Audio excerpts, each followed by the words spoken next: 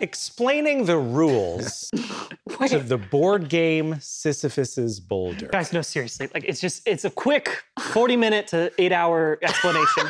All right, so first off, the thing you need to know victory points. Obviously, every game has that. But um, the, the more important thing is the boulder. The basic rules of this is that what we want to do is we want to go ahead, roll dice, obviously. We just get that started. Um, if you get a chance card, you can cash that in, and it helps you push a little harder. But usually, the, the main mechanic of the game uh, is pushing the, the boulder. And so, but that's the thing is that everyone thinks that that's the whole part of it, but they forget.